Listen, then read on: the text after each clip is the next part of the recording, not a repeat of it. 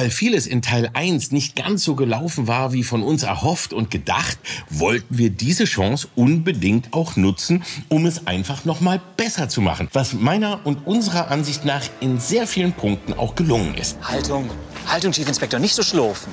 Hm? Kreuz durchdrücken, Brust raus, Kopf nach oben. Ja, ja. Nicht ja, ja, das ist wichtig. Auf sowas achten die Menschen. Wer schief geht, wird schief angeschaut, nicht wahr? Chief Inspector? Zur Story. Der Wichser ist zurück. Allerdings scheint diesmal jemand anderes unter der wunderschönen Knochenkopfmaske zu stecken.